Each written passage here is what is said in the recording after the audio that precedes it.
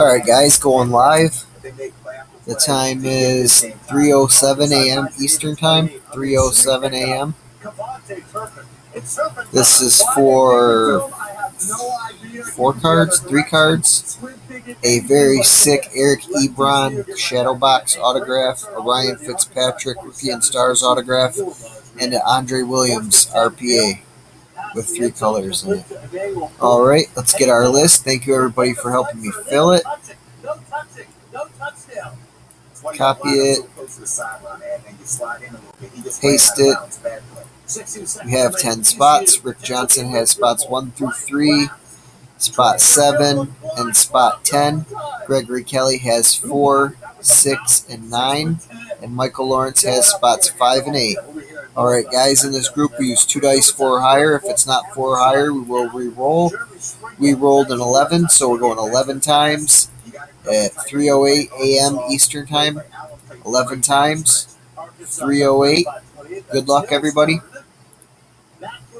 There's once, twice, three times, four times,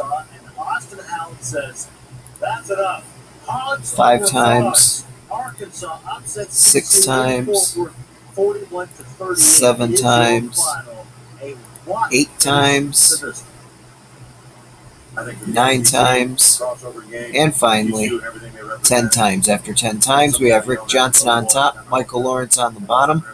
Show you the dice again. We've went 10 times. The dice say to go 11. Let me show you the time again. The time is now 3.09 a.m. Eastern Time. 3.09. 11th and final randomizing at 3.09 a.m. Eastern Time. Good luck, everybody, and congratulations to the lucky winner of the three card autograph lot, who is Gregory Kelly. Congratulations, Gregory. Get me your shipping info. I'll get that out to you Monday. Thank you, everybody, for helping me fill. Once again, congratulations, Gre- Gregory, and better luck next time, everybody else. We are done.